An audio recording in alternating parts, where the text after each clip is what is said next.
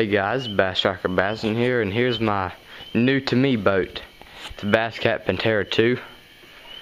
Um, this boat, I restored it, or restoration you should say. I pretty much put everything that could be done to it. I did it.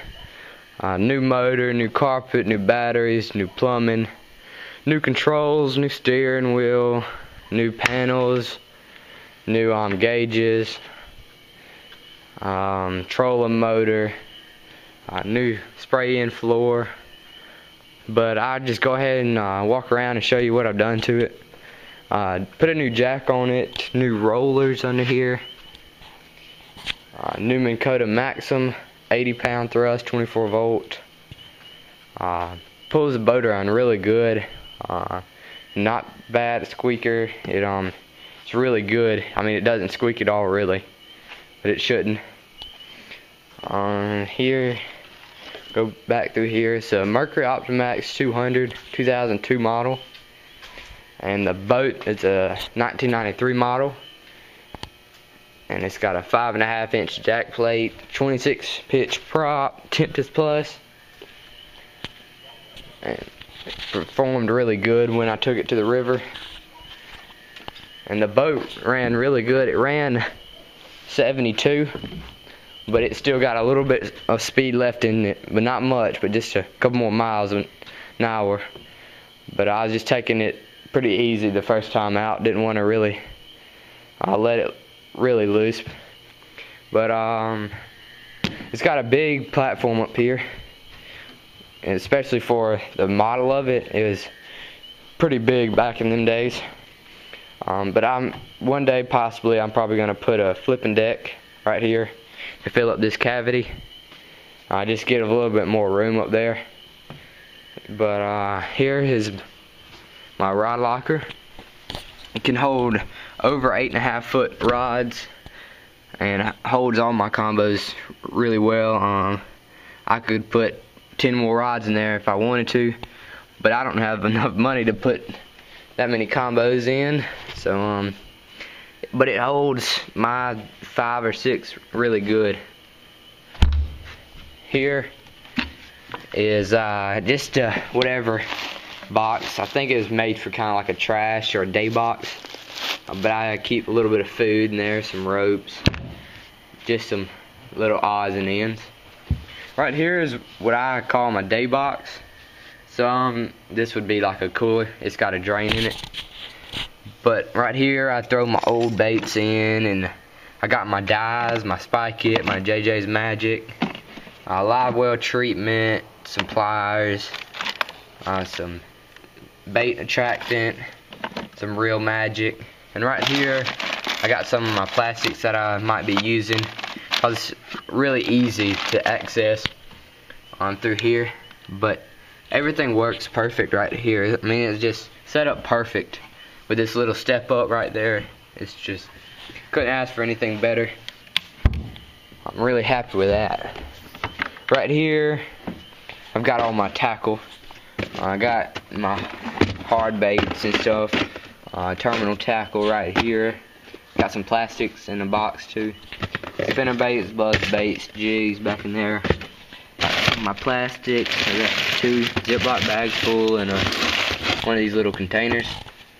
If um, any of y'all haven't seen this, um, it's really easy and keeps your tackle really good and it seals it pretty good to keep the moisture out of it.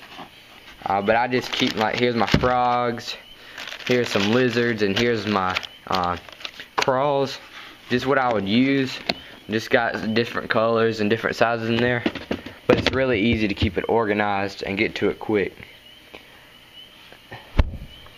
Right here is a whatever box. It's really big. You can't hold a rod in there. It's only like four foot long. But you can hold a bunch of stuff. Right here I have uh, a little collapsible co cooler, which is pretty big. Um, I got my tripod in there, got my lure retriever right there, lights, screwdrivers, pliers, line, and a jacket. Uh, right here, I just got my um, tire, just in case something happens, which I hope I don't ever have to. And right here, I sprayed in bed liner. Um, it's called DuraBak, uh, D-U-R-A-B-A-K dot com. Uh, I really, really like this stuff. Right now you can see it's dirty. I haven't cleaned it up yet. But all you do is just wash it out with a water hose or you can even pressure wash it. Uh, it's really simple. It was really easy to do. I sprayed it in instead of rolling it in. Uh, it was really, really easy doing it that like that. So right here at the console, you can fit some stuff in that compartment. It goes all the way up to there. Um, but I'm gonna put me a hot foot and a blinker style trim just uh, for safety to keep both hands on the wheels while I'm controlling the boat. Uh, you can see it's a gauge cluster. I put all these gauges in myself, all new panels, steering wheel, my uh, key harness, and my um, Bass Cat, the A10 uh, pad panel. You I guess you could say push button. And under here, I have it a master switch, so you don't run down your battery. But you got your lights, your your horn, your bilge, fuel, recirc, and aerator all in that one uh, panel, and it's really really nice. Up here, I got my Humminbird 788, the down imaging model with the GPS. Uh, works really good.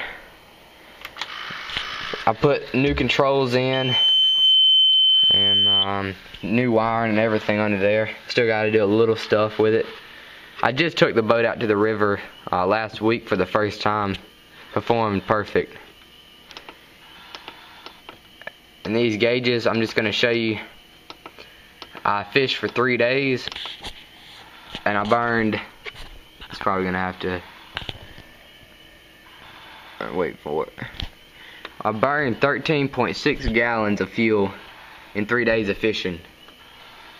So uh, that's really good, especially for the size of boat and bigger motor. The Optimax has really done great. But let's see, let's go ahead and move on.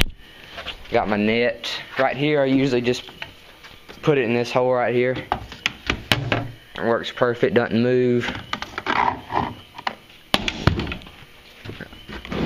under here got life jacket under that one and some more life jackets and towels and such live wells huge live wells you can see I gotta put that in um, I gotta get me some some more bolts right here the live well and I'll just show you how big it is right you see how long my arm is it's probably foot and a half or more alright see my elbow